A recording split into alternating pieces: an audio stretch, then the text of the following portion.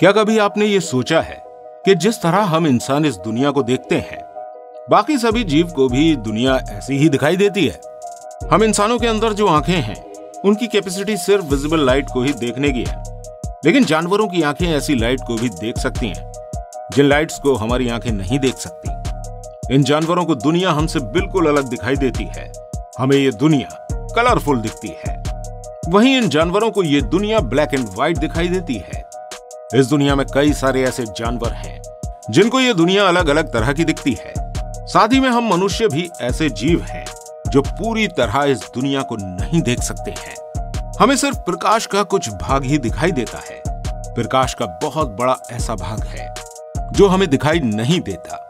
और प्रकाश का यह भाग अपने अंदर एक अतरंगी दुनिया को समेटे हुए है। लेकिन हमारी पृथ्वी पर कुछ जीव ऐसे भी मौजूद हैं, जो इस प्रकाश को देख सकते हैं। और इस अतरंगी दुनिया के अंदर ही जीते हैं। तो दोस्तों, सबसे पहले हम बात करते हैं डंक बीटल की, यानी कि गोबर के कीड़े की, जिसको आम भाषा में गुबरेला भी कहते हैं।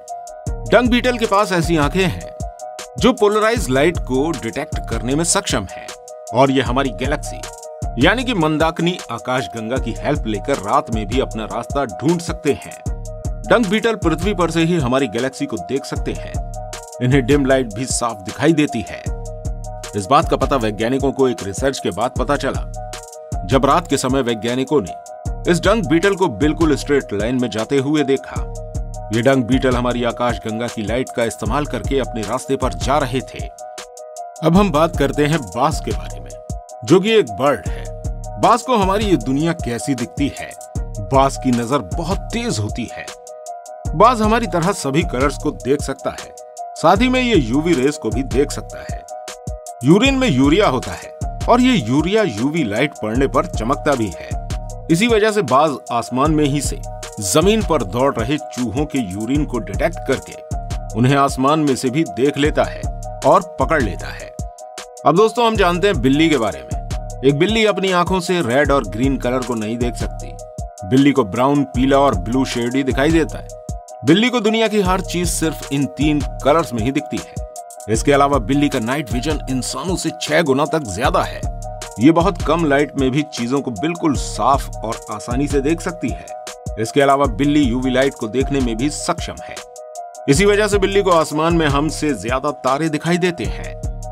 अब अगर हम बात करें उन जीवों की जो समुद्र में रहते हैं तो समुद्र में रहने वाली मछलियाँ इस दुनिया के सभी कलर्स को देख सकती हैं, जिस तरह हम इंसान देख सकते हैं। लेकिन एक मछली की प्रजाति ऐसी भी है जिसे ये दुनिया ब्लैक एंड व्हाइट दिखाई देती है। इस मछली को इस दुनिया की हर कलरफुल चीज़ सिर्फ़ काली और सफ़ेद रंग की ही दिखती है। और ये मछली दुनिया का सबसे खतरनाक शिकारी भी माना जाता है। इसका नाम है शार्क। अगर ये मछली नाइट स्काई को देख सकती है, इस मछली को सब कुछ ब्लैक एंड व्हाइट दिखाई देता है। अगर हम मेंढक की आँखों से देखें तो मेंढक को ये दुनिया ब्लर दिखती है। मेंढक सिर्फ़ उन चीज़ों को ही देख सकता है, जो चीज़ें मूवमेंट करती हैं। मेंढक रुकी हुई चीज़ों को नहीं देख सकता। साथ ही में मेंढक को नाइट स्काई भी धुंधला दिखाई देता है, या फिर ये नाइट स्काई दिखाई ही नहीं देता, क्योंकि स्काई में कोई मूवमेंट नहीं होता। ये पूरी तरह से एस्थेटिक है। अब दोस्तों बात करते हैं रेप्टाइल्स की। रेप्टाइल्स में अगर हम सांप को देखें तो सांप पूरी तरह अंधा होता है, यानी कि सांप की आँखें ही नहीं है।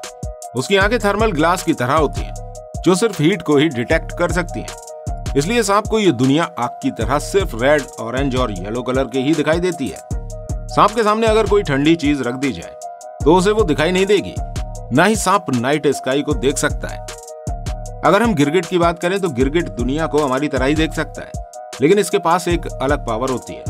गिरगिट अपनी आँखों को चारों ओर घुमा सकता है, और इसी वजह से गिरगिट एक टाइम पर दो चीज़ों के ऊपर फोकस रख सकता है। गिरगिट अपनी दोनों आँखों से दो अलग अलग चीज़ों को देख सकता है। गिरगिट हमारी तरह ही नाइट स्काई को भी देखता है। लेकिन गिरगिट को अपनी दोनों आँखों से अलग अलग तारे दिखाई देते हैं। अब दोस्तों बात करते हैं चूहों की।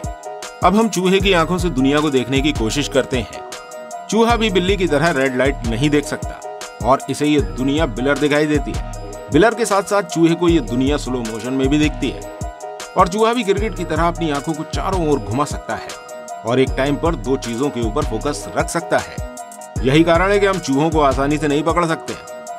और अब हम बात करते हैं घोड़े की। घोड़े की आँखों से ये दुनिया ग्रे येलो और ब्लू दिखाई देती है। घोड़े की आँखें सिर्फ़ सामने ही नहीं, बल्कि पीछे भी देख सकती हैं। घोड़े की आँखों में 340 डिग्री का विजन होता है। इसलिए घोड़े की आँखों की साइड को कवर करके रखा जाता है, ताकि घोड़े सिर्फ़ सामने ही देख सके। अब अगर बात करें डायनासोर की, जो आज हमारी पृथ्वी पर से विलुप्त हो चुके हैं तो डायनासोर की आँखों के पास बाइनकुलर विजन था, जिसकी वजह से डायनासोर बहुत दूर से ही अपने शिकार को देख लिया करते थे। जिस तरह से दूरबीन से हर चीज़ बिल्कुल करीब दिखाई देती है, इस तरह डायनासोर को अपनी आँखों से दूर की भी हर चीज़ बिल्कुल पास दिखाई देती थी। ऐसे ही अगर बात आए कबूतर की तो कबूतर की नज़र भी बहुत तेज होती है।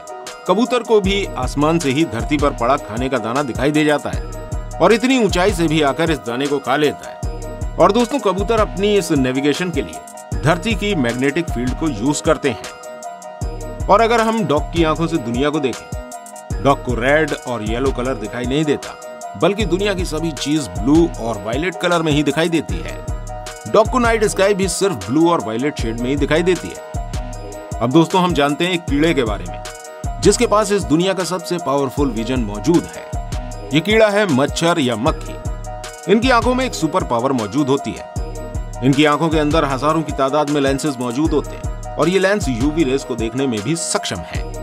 इस लेंस की वजह से मक्खियों को सभी चीज़ें काफ़ी ज़्यादा स्लो मोशन में दिखाई देती हैं और इस कंडीशन में उनके लिए टाइम फ्रीज के जैसे हो जाता है। इसलिए मक्खियों को पकड़ पाना नामुमकिन है।